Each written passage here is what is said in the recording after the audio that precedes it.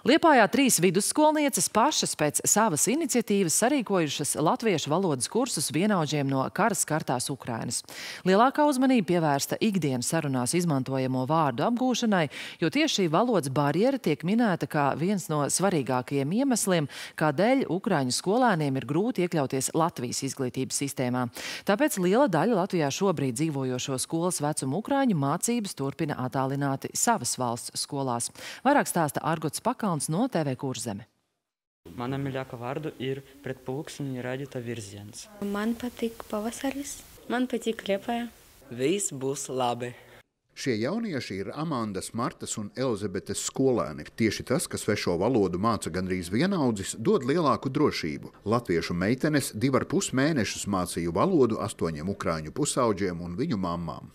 Mēs viņiem pa lielam mācījām tikai tādus vārdiņus, nu, tā kā vārdus. Mēs izvēlējāmies tēmu, nu, piemēram, mēbeles, un tad mēs mācījām viņam vienkārši mēbeles, vai, vai arī tur istabas, viestaba, anstaba. Mums latviešu skolotāji iedeva grāmatas, un tad mēs no turienes ņēmām uzdevumus, tekstus, no kuriem viņi var lasīt. Vēl mēs smēlāmies idejas no pašu mācību, mūsu mācību stundām, kas ir pieredze, ka mums ir mācīta krievu valoda, angļu valoda, kurā tiek izmantot šīs tēmas.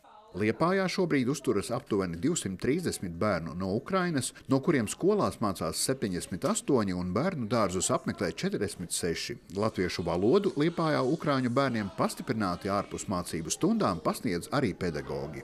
Mums jau ir atsevišķi pedagogi, kuri ar vidusskolēniem apgūst latviešu valodas papildus tam noteiktajam mācību procesā, paredzētajam stundu skaitam, kur latviešu valodas skolotāji uh, tiešām iet ārā arī sadzīvē, veikalos uz tirgu, tiešām absolūti ārpus mācību šī konteksta, lai sarunvalodu uzlabotu. Ukrāņu bērnu attieksme pret latviešu valodas mācībām ir dažāda. Tie, kuru ģimenes nolēmušas Latvijā uzturēties vēl kādu laiku, apgūst valodu un arī mācās kādā no liepājas skolām. Savukārt tie, kuri drīzumā plāno atgriezties Ukrainā, mācības turpina attālināti savas valsts izglītības sistēmā.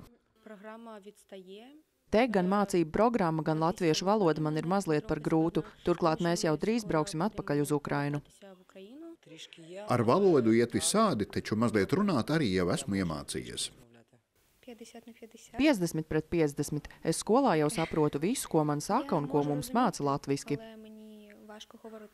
Mācību turpināšana savas valsts izglītības sistēmā visbiežāk esot saistīta ar to, ka vecāki nevēlas pakļaut papildus psiholoģiskam slogam bērnus, kuri jau tā daudz pārcietuši. Turklāt vēl tie pusauģi, kuriem tuvojas pamata vai vidusskolas izglītību apliecinoša dokumenta saņemšanas laiks, vēlas saņemt savas dzimtenes izsniegtu attestātu. Šeit um, viens būtisks faktors ir uh, skolēnu vecums. Tātad mēs redzam, ka ļoti labprāt pirmskolas izglītības iestādēs iekļaujās skolēni un mazākajās klasēs. Tālāk, ejot jau uz lielākiem vecuma posmiem, vecāki un bērni izvēlās bieži vien variantu mācīties attālināti Ukrainā. To apliecina arī statistikas dati. Latvijā šobrīd dzīvo aptuveni 7600 pirmskolas un skolas vecuma bērnu no Ukrainas, no kuriem Latvijas skolās mācās apmēram 2800 un bērnu dārzus apmeklē apmēram 1400. Argots Pakalns, Justs Kurvins, TV Kurzeme.